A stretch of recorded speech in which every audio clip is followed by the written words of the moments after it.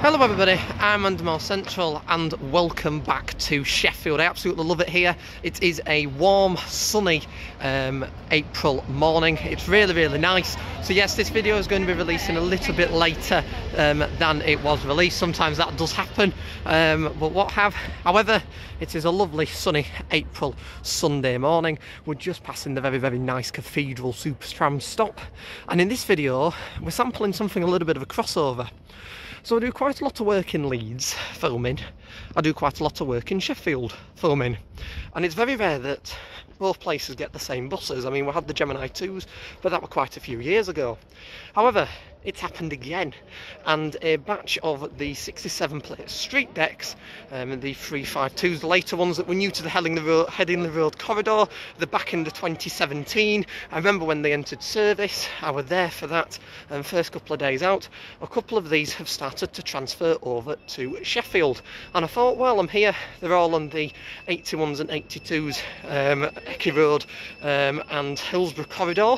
So I thought we'd go for a little ride on them. So in this video video we'll sample them. We'll see how they're coping with the Sheffield routes. Bearing in mind there's quite a few more hills. We'll see how they're settling in with the high quality what they're like inside and what new standards they may bring to the network that first was operating Sheffield. And we'll have a little ride around we'll discuss how many they're getting and why they are here.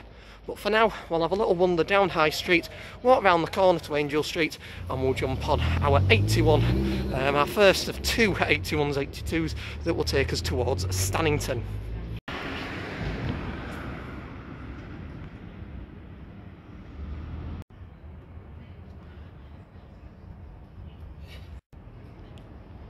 So here's our first of two. This is 35270. It got given a um, temporary, but really didn't last. Um, full green front with no dark green on it as part of sort of a hybrid livery for general use and other services. At present, the ones in service, it's the only one like this.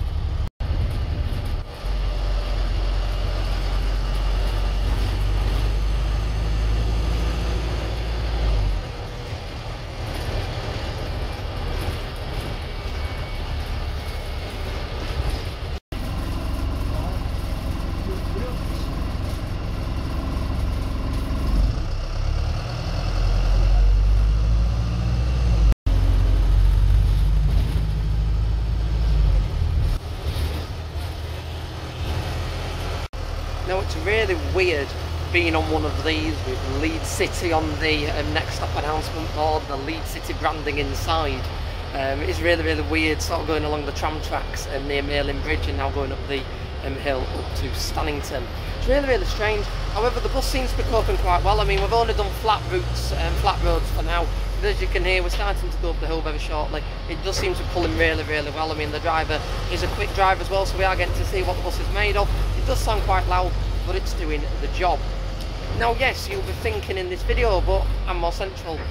Sheffield already have a Leeds bus, they had 35211, and you'd be right in thinking that they did have 35211. However, that was the smaller batch of Streetdecks, very standard to what um, the other specifications were. However, these had their highest spec seats, and these were Leeds City spec. Um, apart from the fact that they had the pink grab poles instead of the green ones, this is pretty much a Leeds City spec bus.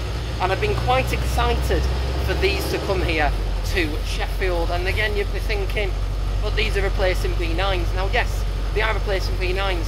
However, we do have to face the fact that B9s are going. They've got to go. They are the older vehicles now, and they will start to replace them. And when I was thinking of replacements, I was thinking, oh, we might, we might get some buses that are quite basic inside. However, I really wanted these because these buses have a really high spec interior. They do have the nice Lazzarini seats, they've got free Wi-Fi, they've got USB plugs, So for people who commute on these buses, um, like myself later in the year, it does mean that you've got a higher standard of commute. It's sort of a higher quality. The seats are comfier. You've got your USBs. You've got your free Wi-Fi. And as I say, for passenger comfort, it's definitely an upgrade.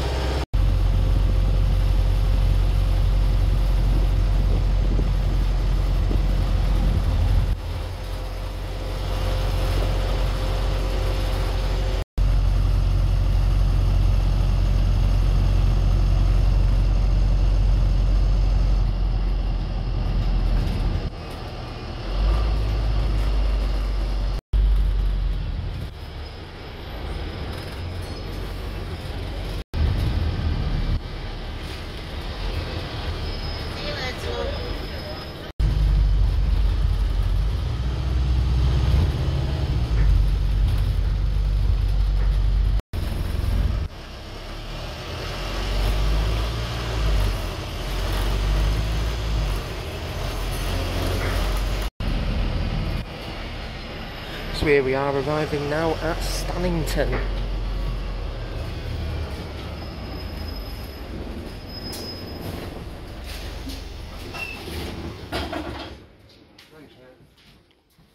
Thank you very much.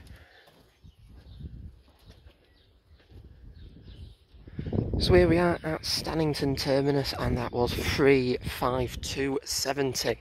So what we'll do now is we'll get a couple of photos of the bus as it is at Stannington, probably see it leave and then we'll wander around, it's about a 5 or 10 minute walk, wander around to see the 82 and hopefully get that bus that should be, if it's tracking correctly, 35279. So I as discussed when we jumped on it, and um, this does feature the sort of Leeds City um, standard liveries they advertised it. It was only really done for a brief period of time, they've really abandoned it now with the Leeds Electrics introduction and sort of the grey and purple buses. However, they took the main green strip off the front by the destination board to denote it was a bus that could be used for any route, because back when they were branding them up, um, green was a specific route line, so they had the red, they had the indigos, and um, they had the uh, mustard ones as well for the um, Thorpe Park routes. Um, and this the idea was is if they didn't have anything at all they were a spare vehicle. It didn't really last that long. It was very much a Hunslet Park thing that they introduced. However as I say at the moment for the ones that have entered service so far 35270 is the only one like this. Bus times bustimes.org if you do find it on there it does also reflect this differentiation in delivery. Another thing as well as you can see it is still in its Leeds green. That's pretty obvious. It is still in the colours. We must um, appreciate that However, um, what you do have to bear in mind is these vehicles will come to replace B9s that are, are being withdrawn um, due to mechanical failure at the moment. So they've been pressed into service. And just like the rest of the stuff in Sheffield, it will eventually get painted, hopefully into blue. Blue and cream would be very, very nice. Um, although we don't quite know what's going on with the livery at the moment, but these in blue and cream would be incredibly nice. With that as well, when they do get repainted, they will also get debranded inside, just like the ones from um, City Reds in Southampton did. It's quite nice having the branding and having the quirkiness for a brief period of time, however, to um, for a bit of conformity, a bit of uniformity, and making them look good. And they will probably be painted um, very, very soon in due course.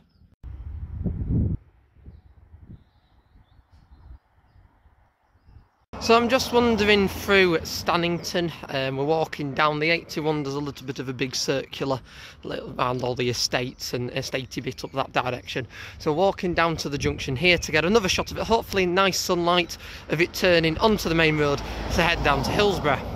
Now the 81 and the 82 do both come to Stannington. They have two different terminus points. So by walking down here, we are on our way to the um, 82 terminus point. I haven't been to the 82 um, terminus before, so I'm quite excited. A new bit of route for me.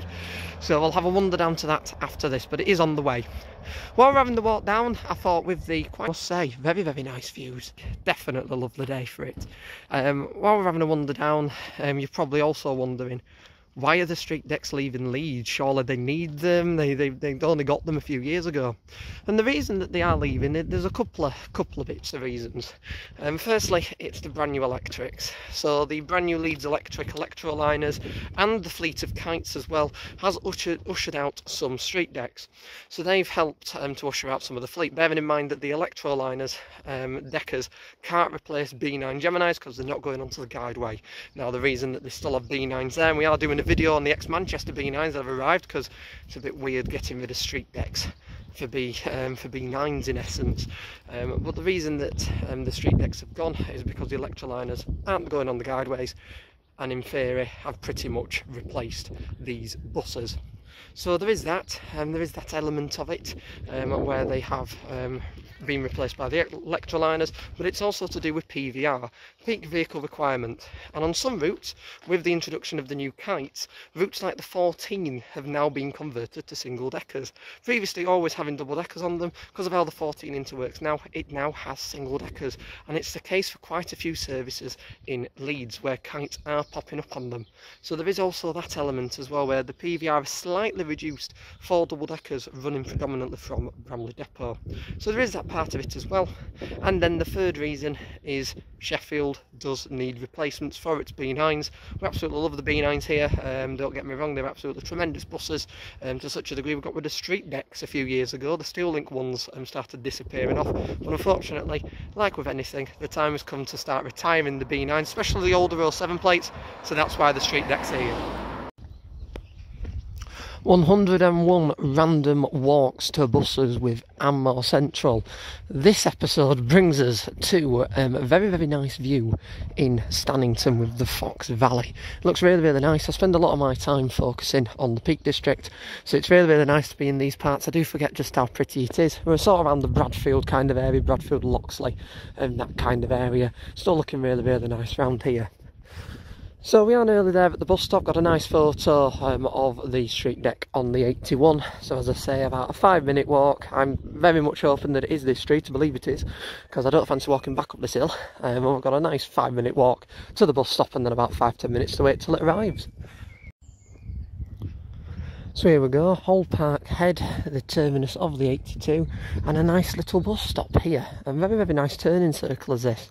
And if I'd have known in previous times coming up on the 81, I'd have probably had to wander down here to get the 82. It's not that far of a walk, probably about five, ten minutes. And as I say, it's a nice and sunny day today, so there's no complaints from me.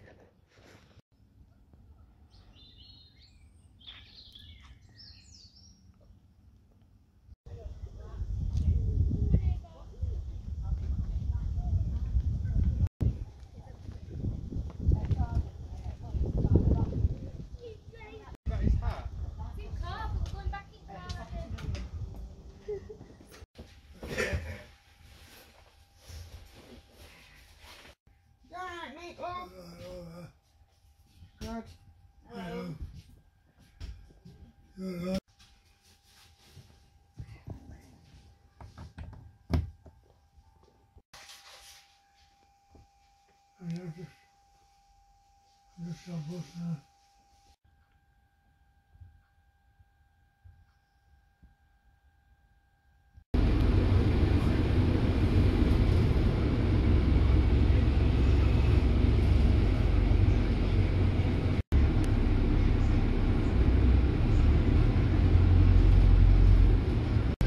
I've come upstairs for the remainder of the journey into Sheffield city centre. I nearly said Leeds then, and we've got another one going past.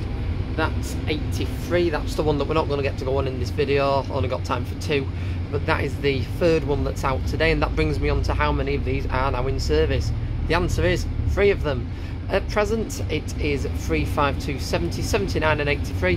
However, by the time this video does release, there should be more of them out in use. Quite a few of them have transferred down here. I believe they're having quite a bit of work done to them. I don't know if any, get, any are getting painted before entering service. Be nice if they do. But um, they are having a bit of work done, a bit of TLC and bits like that, um, getting them ready to sort of see the challenging hills of Sheffield because Leeds is relatively flat where these have been working and getting them ready for that before they start entering use.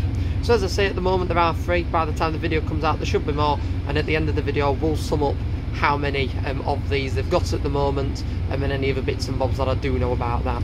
And as I say for now, really really nice buses and these Lazzarini seats are really nice and comfy. Um, these are definitely going to improve your Sheffield commute. I mean yes I absolutely love the B9s, I cannot emphasise this enough, especially the refurbished ones, but unfortunately as with everything um, they are they are cracking on now and just like good buses in the past like our Renowns, our D7 CB7s it's time to start saying farewell to the B9s and from a passenger perspective these are pretty nice buses with nice high back Lazzarini comfy seats with USBs that I'm using with free Wi-Fi um, and hopefully with the announcements, the potential to set up announcements as well that I think is also really really good. So for Sheffield these are definitely going to see um, be an improvement um, for passenger commutes and as I say it'd be even nice potentially, you never know, um, I might be in DreamWorks I think a little bit but it'd be nice potentially to see these refurbished because you never know what could happen. For now, I'll show you a few views as we go through Hillsborough and make our way along the tram tracks back into Sheffield city centre.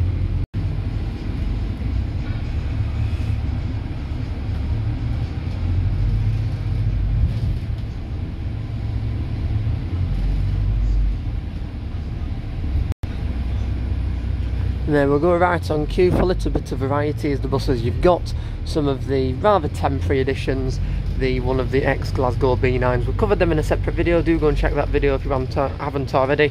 Lovely buses to go on are them, and again, just like these, very very nice, bougie and comfy interiors.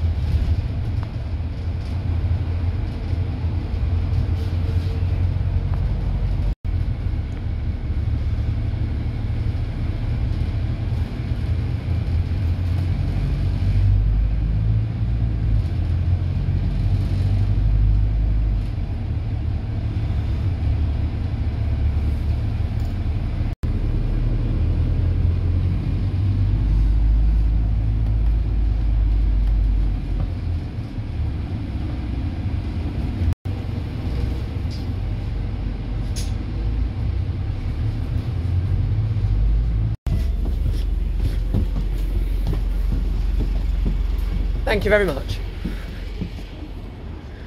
So here we are in Sheffield on Snig Hill and that was 35279. So what I'll do is I'll pass into the studio now for a little bit of a summary as to what I thought of the buses, how I thought they were coping um, with the roads here as they are a little bit earlier than Leeds is. So how they're coping with them and any other bits and bobs that I may have missed. So to summarise this video, and they on your screen now shows the three that are in service, 70, 79 and 83. Also there at the moment, um, although yet to enter service, is 35261, 63, 64 from the very, very early first part of this batch of buses and the first Leeds City Deckers, as well as 73 and 74. So there's a fair few of them already there. Um, as I say, only three out in service at the time of filming this. All three of them are in service in Leeds City Green. Bustimes.org, however, does suggest that 35263 and 73, two of which are yet to enter service, are getting painted. We do have to bear in mind it isn't always the most reliable um, resource in the world, and people do have access to changes on a public domain. However, you usually tend to find if something suggested it's painted um, on bustimes.org in Sheffield, it usually is painted. So do expect 63 and 73 to enter service in Sheffield Blue, that I'm personally very, very excited about. Again, I do think these vehicles are an improvement for commuters in Sheffield and anybody that does use the bus. With the USB ports, the comfy high back Lazzarini seats, um, they didn't struggle on hills, the opportunities to put announcements on the vehicles with the PA systems already set up. They just need to make announcements for the services they run. I do think these buses are, whether we do like it or not, the future of Sheffield, and I do think it is a relatively positive future.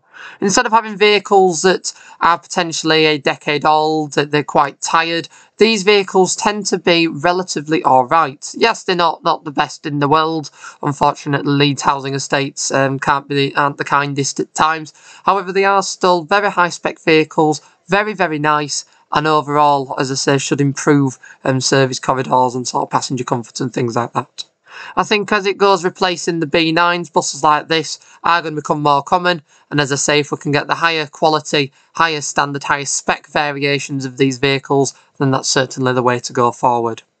With all of that said and done, I really do hope you've enjoyed this video. If you have, then do be sure to hit that like button so that more people can find it and enjoy like you have. And if you want to haven't already, do be sure to subscribe to the And More Central YouTube channel for more content like this from the real life bus industry. I do quite a lot of stuff in Sheffield. Do go and check out my previous content, and I've got quite a lot of stuff planned. So do make sure you subscribe if you haven't already. Once again, I would like to thank you all for watching. I really hope you've enjoyed this video, and I will see you all in the next one I make. Bye for now. Bye.